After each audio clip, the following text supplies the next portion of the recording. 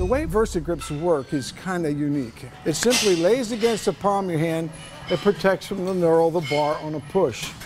On a pulling exercise, bar comes inside, the tip of your fingers folded around the bar, and it locks you onto the bar. The way you put them on is to simply slide my hand into it, tighten it up, but not tight, just loose. That's as tight as I ever wear it on a pull.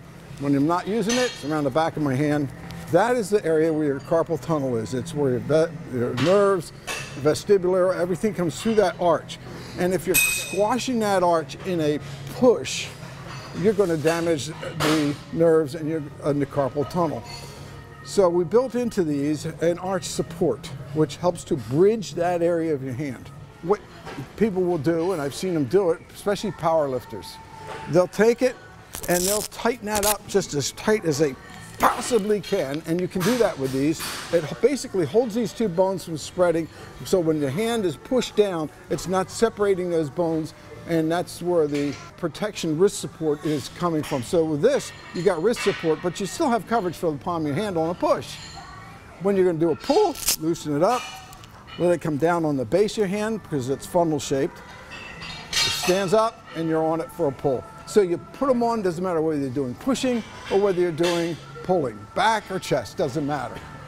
One of the issues that these new bars have is that the diamond plating really will cut into your hand. That's where you're getting your calluses.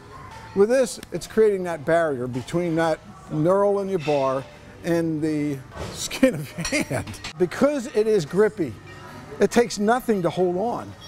As long as you're holding the end of the grip between the bar and the palm of your hand, you're locked onto that weight and yet you can let go if you have to. It doesn't matter. Just open your hand and you can drop it. So it's that quick release feature which is very sweet. Once a person tries things on, once you use a pair, you'll never use anything else. There's no point in using anything else because they do everything from pushing to pulling because that's the only two moves you get in weightlifting or anything is push and pull. And it's so functional. You'll love them.